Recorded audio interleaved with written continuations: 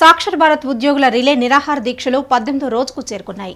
గత పద్దెనిమిది రోజులుగా మండల కోఆర్డినేటర్లు వీసీఓలు అష్ట కష్టాలు పడుతూ నిరసన వ్యక్తం చేస్తున్నా ప్రభుత్వం పట్టించుకోకపోవడం దారుణమని రాజన్న సిరిసిల్ల జిల్లా బీజేపీ అధ్యక్షులు ప్రతాప్ రామకృష్ణ అన్నారు. రాజన్న సిరిసిల్ల జిల్లా వేమ్రవాడ పట్టణంలో సాక్షర భారత్ ఉద్యోగుల రిలే నిరాహార దీక్షా శిబిరాన్ని బీజేపీ జిల్లా అధ్యక్షులు ప్రతాప్ రామకృష్ణ సందర్శించి వారికి సంఘీభావం ప్రకటించారు. ఈ సందర్భంగా జిల్లా అధ్యక్షులు ప్రతాప్ రామకృష్ణ మాట్లాడుతూ గ్రామంలో నిరక్షరాస్యులను అక్షరాస్యులుగా తీర్చిదిద్దేటువంటి సాక్షర భారత్ ఉద్యోగులను తెలంగాణ రాష్ట్ర ప్రభుత్వం చిన్నచూపు చూస్తోందన్నారు.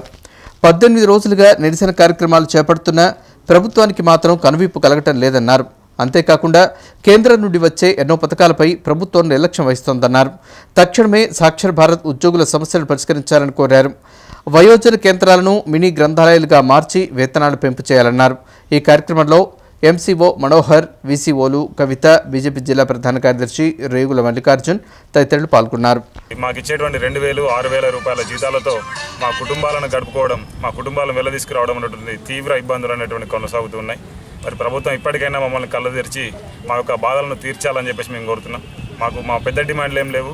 నిజానికి ప్రభుత్వము లేని డిపార్ట్మెంట్ని క్రియేట్ చేసుకుంటూ సాంస్కృతిక విభాగం అని చెప్పేసి వాళ్ళందరికీ మిగతా వేరే వేరే విభాగాలలో వాళ్ళకి వేతనాలు చాలా పెద్దగా పెంచింది. మరి ఉన్న డిపార్ట్మెంట్లో ఇప్పటివరకు కొనసాగుతున్నటువంటి వయోజన విద్యా కేంద్రాలను వీటిని వాటిని కుంటుపడే విధంగా ప్రభుత్వం తీసుకున్నటువంటి చర్యలు మాకు చాలా కేంద్ర ప్రభుత్వం ఇప్పుడు కనీసం నిరసన కార్యక్రమాలు ఏర్పాటు చేసిన కక్ష సాధింపు చరిత్రం చేస్తూ ఉన్నది. చాలా వరకు మనం ఉద్యమ సమయంలో చూసినాం. ఇక్కడ ఉన్న ప్రతి మహిళ ప్రతి చెల్లె కూడా ఉద్యమం తెలంగాణ ఉద్యమంలో పాల్గొన్నది. మరి డబ్బులు కేంద్ర ప్రభుత్వం అరవై శాతం ఇచ్చిన వాటా ఏదైతే ఉన్నదో సక్రమంగా వినియోగం జరగడం లేదు. ఆ వినియోగాన్ని చేయడం లేదు.